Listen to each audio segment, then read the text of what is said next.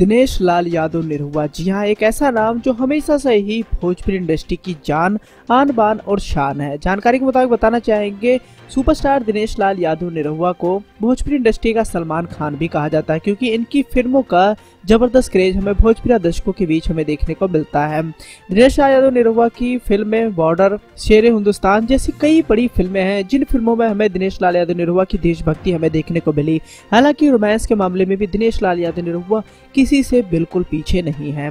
इसी के साथ ही अगर दिनेश लाल यादव निरहुआ की निजी ज़िंदगी की बात करें तो निजी ज़िंदगी में दिनेश लाल यादव निरहुआ काफ़ी सादे स्वभाव के माने जाते हैं। निरहुआ अक्सर ही मीडिया के कैमरों से दूरी बनाए रखते हैं और उनकी फैमिली को भी बहुत ही कम मीडिया के कैमरों में हमें देखने को मिलता है। जानकारी के मुताबिक बताना चाहेंगे, दिनेश लाल यादव निरहुआ की पत्नी भी इसी कड़ी में आती हैं। निरहुआ को आमतौर पर कई सारे शोज़ में हमें देखने को मिल जाते हैं और फ़िल्म के प्रमोशन के दौरान दिनेश लाल यादव निरहुआ फ़िल्म की स्टार कास्ट के साथ दिखाई देते हैं। लेकिन ऐसे में दिनेश लाल यादव निरहुआ अपनी पत्नी के साथ बहुत ही कम दिखाई देते हैं।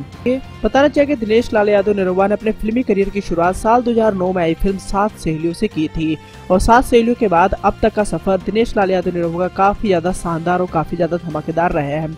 अपना फिल्मी डेब्यू करने के बाद दिनेश लाल यादव निरहुआ ने बॉक्स ऑफ़िस पर कई सारी सुपर डुपर हिट फ़िल्में दी हैं। इसी के साथ ही उनकी निजी ज़िंदगी को भी लेकर उनके फैंस जानने के लिए काफ़ी ज़्यादा एक्साइटेड रखते हैं। निरहुआ के फैंस हमेशा से उनकी पत्नी के बारे में जानने के लिए इच्छुक रहते हैं, क्योंकि वो बहुत ही कम मीडिया के कैमरों के सामने आती है। लेकिन इस वीडियो के माध्यम से आज मैं आपको दिनेश लाल यादव निरहुआ की पत्नी से मिलवाने वाले हैं।